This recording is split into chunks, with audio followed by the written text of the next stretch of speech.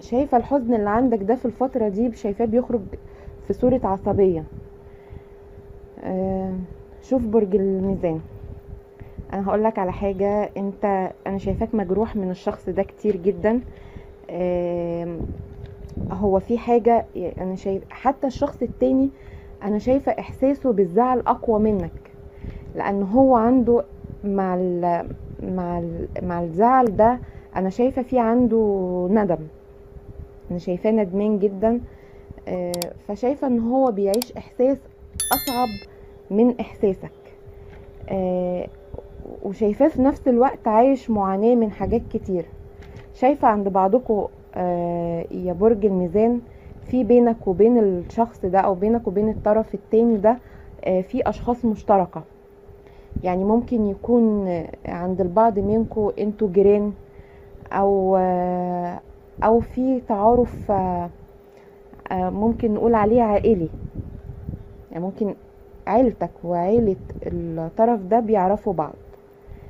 آه، لأني شايفاك بتشوفوا أحيانا بس مش بتتكلموا. في مراقبة من الطرفين أيوه في مراقبة من الطرفين. شايفاك برج الميزان بتعرف عنه شوية حاجات بس شايفاك برضو متضايق. يعني أنا شايفاك يا برج الميزان عايز تدخل في تفاصيله أكتر أو عايز تعرف حاجات معينة في دماغك غير اللي بتسمعها. آه، شايفة كمان آه، غيرة غيرة من ناحيتك على الشخص ده. آه، يعني شايف إن أنا شايفاك إنك حاسس إن الشخص ده من حقك من حقك إن أنت تعرف عنه كل حاجة من شايفة عند البعض كمان الطرف التاني بيكتم مشاعره اللي هي برضو قوية. يعني أنا شايفة حب قوي جدا جدا للطرفين بس مش بيفكر كتير آه، في شكل العلاقة. آه، شايفاه بيحلم يكون معاك. آه، شايفة الطرف التاني بيدعي ربنا. بعضكم يا برج الميزان شايفاه مل من الانتظار. يعني في في البعض منكم قرر يبعد. أو يختفي تماما من قدام الشخص ده لأن شايفة البعض ممكن يكون آه، بيسافر ويرجع. شايفاك مش واثق في مشاعر الطرف التاني أصلا. يعني أنت زي ما قلت هي العلاقة آه، عند البعض منكم ممكن تكون سرية عليكم أنتوا الاتنين. يعني هو اللي بينكم آه، أحاسيس. ممكن تكون حاسس من ناحيته إن هو بيحبك بس أنت مش متأكد. آم،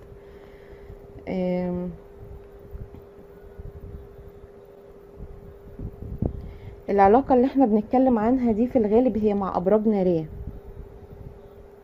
آه، شايفة بعدك يا برج الميزان إن كان عندك آه، ممكن البعض منكم يعني كان عنده تجربة قبل كده أو اتخدعت آه، آه، فيها انجرحت فيها ممكن يكون من الشخص ده نفسه في السابق وممكن يكون من حد تاني. آه، شايفة إن أنت خايف إن ده يتكرر في العلاقة دي أو تكون خايف يتكرر لو أنت صارحته آه، بس شايفة إن العلاقة دي هيكون فيها تواصل بس هياخد وقت هياخد وقت شوية بالذات لو في طرف تالت سواء عندك أو عنده أو أنتوا الاتنين. آه، في الغالب العلاقات اللي فيها طرف تالت أنت أنت أنت عارف ده. يعني عشان اللي بيسمع مش كل العلاقات أو مش كل برج الميزان في طرف تالت لأ أنا بتكلم هنا أنا بتكلم عن علاقة آه، أصحابها هم عارفين ده عارفين إن في طرف تالت. آه، آه، ش- أنت عارف ده والشخص التاني عارف عنك ده.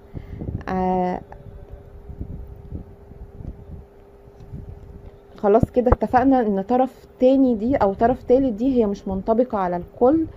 آه، بعضكم أنا شايفة إن الطرف التالت عنده هو الأهل. آه، في تدخل آه، شفت شايفاه من آه، ممكن تكون الست دي ممكن تكون الأم. وممكن تكون من طرفك أنت يا برج الميزان. أو الطرف التاني برضو. يعني آه، ال- التدخل من الأهل ده هو رفض العلاقة دي تماما يعني رفضها خالص. آه، أو ممكن نقول إن موضوع الأهل ده تسبب في في هدم العلاقة دي. آم، شايفة البعض من مواليد برج الميزان آم، بعضكم تعرض لخيانة ممكن تكون من أبراج هوائية أو مائية. آه، وممكن يكون العكس برضو. يعني انت اللي خنت الطرف التاني يا برج الميزان آه، اللي بيسمع القراءة كل واحد عارف حالته. آه، العلاقة دي ممكن نقول إن الانفصال فيها حصل آه، شايفاه حصل من من شهور. يعني ما بين ستة لتمن شهور عند البعض شايفاها وصلت لمحكمة. أو أنت اللي بتطلب أو أنت بتطلب العدالة في العلاقة دي. آه، شايفة في طرف اتعرض لظلم كبير آه، لأني شايفة مشاكل كتير جدا حصلت وفضلت تتصاعد وتكبر من من ولا حاجة. يعني آه، مشاكل بدأت آه، تقريبا حصل تدخل ناس آه، شايفة المشاكل ابتدت تكبر من كل ناحية لكن البداية بتاعتها كانت ولا حاجة أو كانت حاجة بسيطة لكن فيها بس شايفاها بقت تتصاعد تتصاعد بشكل غريب. يا برج الميزان بعضها كان آه، فيها شكوك فيها غيرة. بعضها كان ممكن يتحل جدا في بدايتها خالص.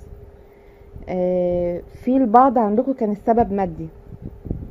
اللي في الحالة دي برج الميزان انت بتعيش حالة حزن. شايفاك بتعيش حالة حزن كبيرة جدا وشايفاك منطوية على على نفسك وعلى الذكريات. آه، آه، بعضكم برج الميزان الطرف التاني برضو شايفاه بيعيش ندم أو لسه هيمر بحالة ندم. آه، شايفة عند البعض خلاص انت اديت ظهرك للعلاقة أو الطرف التاني هو اللي ادى ظهره للعلاقة. مش عايز مصالحة خالص. آه، شايفاك قفلت على قلبك بس أنا شايفة في نسبة رجوع. يعني برغم كده أنا شايفة في نسبة رجوع كبيرة. آم، ب ب ب يعني برغم إن السيناريوهات يعني أنا قلت القراءة اللي قدامي بكذا بكذا شكل عشان تنطبق على الغالبية إن شاء الله. آه، ده بالنسبة للمطلقين أو المنفصلين وده غير السيناريو اللي قلناه في آه، الأول آه، عن العلاقة اللي ما فيهاش أي اعتراف دي اللي إحنا اتكلمنا عنها في الأول. آه، شايفة في تواصل في العلاقة دي يا جماعة هيكون عن طريق شخص مشترك بينكم أنتوا الاتنين. فاهميني؟ فاهمين أنا بتكلم عن إيه؟ العلاقة اللي فيها طرف تالت آه اللي ما فيهاش اعتراف بحب بس أنتوا الاتنين بتحبوا بعض شايفة هيكون فيها تواصل عن طريق شخص مشترك آه بينكوا أنتوا الاتنين. يعني يعني إيه شخص مشترك؟ يعني شخص انت تعرفه والطرف التاني برضه يعرفه. آم، هو الطرف ده مش هيوصل كلام يعني مش هيوصل كلام منك ليه أو منه ليك لأ. بس هيكون سبب سبب بشكل أو بآخر. يعني بس مش مش ه مش هتستخدموه. الشخص ده مش هيكون مستخدم من أي حد فيكم هو الموضوع هيحصل ممكن بالصدفة. آه، هيكون سبب انكم تتكلموا أو على الأقل هي الطرف التاني يا برج الميزان هيبين حبه ليك. آه، ده ممكن يحصل في الفترة زي ما قلنا ما بين منتصف شهر يونيو لمنتصف شهر يوليو إن شاء الله. آه، علاقة برج الميزان بالأبراج الترابية. آه، شايفة إن في علاقات كتير بالرغم إنك قفلتها أو هو وشايفة السبب عند بعضكم إن ما إن مفيش جدية في العلاقة. آه، شايفة أكتر حاجة مسيطرة على طاقة برج الميزان الفترة دي إنه مش قادر ياخد قرار. يعني أنت برج الميزان ال- ال- القراءة عندك فيها كمية تردد كتيرة. أنت تعبان جدا آه، طاقتك فضيت في حاجات كتير أنت مش قادر تميزها.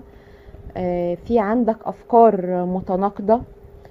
آم، بالتالي بناء على ده كله فإنت مفيش استقرار نفسي.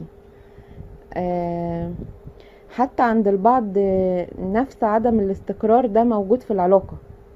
يعني في ناس عدم الاستقرار ده موجود في العلاقة نفسها في علاقات أنا شايفاها مش مستقرة آه، رايحة جاية حتى مع المرتبطين يعني اللي في علاقة زواج شايفة العلاقة رايحة جاية ما فيهاش ما فيهاش أي استقرار آه، مش مع المنفصلين بس. آه، شايفة برج الميزان مسيطرة عليه عليه في الفترة دي طاقته الهوائية قوي. يعني انت ساعات برج الميزان بيسيطر عليك اسم البرج بتاعك اللي هو الميزان بتبقى بس ممكن من كتر ما انت بتتحمل آه، ودي حاجة حلوة وحاجة وحشة في نفس الوقت. انت بتتحمل حاجات كتير بتعاني كتير بتيجي على نفسك في حاجات كتير بتحس انك ممكن تساعد أشخاص كتير أو تتحمل ردود أفعالهم وبالتالي بيجي عليك فترة بتكون صعبة عليك وعلى الكل. مش عليك انت لوحدك عليك وعلى كل اللي حواليك. آه، لأن طاقتك بقى الهوائية بتظهر إنه من كتر الضغوطات اللي انت تعرضت لها آه، بيبتدي التفكير يبقى فيه تهور. آه، بس انت في حاجة هتكتشفها الفترة دي والحاجة دي هت آه، هتوضح أو هتكون إجابة على أسئلة كتير بتدور في دماغك. يعني أنت من ضمن الأفكار اللي في دماغك في أسئلة. آه، في حاجة أنت هتكتشفها في الفترة دي هتكون رد على الأسئلة اللي في دماغك دي. آه، شايفة في رجوع وارتباط مع أبراج آه، نارية وبقوة لاني شايفة علاقة حب قوية. غير إن هي علاقة حب قوية أنا شايفاها منزهة. يعني إيه؟ يعني علاقة كده فيها آه، حب حب الشخص لنفسه. يعني شايفاها منزهة من أي شهوات بمعنى أصح لو قدرت أوصل ولو فاهمين أنا أقصد إيه. أنتوا الاتنين بتحبوا بعض حب اللي هو بنسميه الحب الحقيقي. آه، لكن العلاقات الثلاثية اللي فيها طرف آه، اللي فيها طرف برج وناري أنا شايفة يا برج الميزان آه، إن القدر أو ربنا هو بس اللي يقدر يجمع بينكم.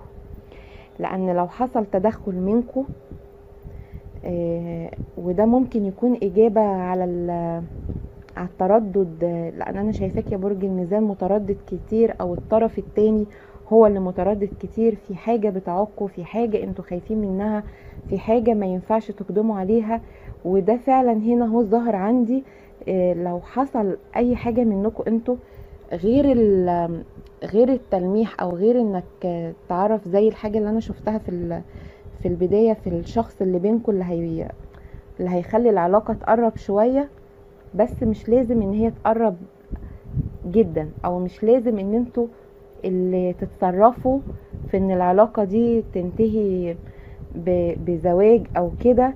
لأن أنا شايفة هنا فيها تكون خسارة كبيرة لحاجات تانية. آسفة إن أنا أقول كده بس هي دي القراءة اللي قدامي. لو أنتوا اتصرفتوا من نفسكم في هتكون خسارة كبيرة لحاجات تانية. أنا هنا بتكلم عن سيناريو معين عن علاقة معينة ما بتكلمش البرج الميزان كله.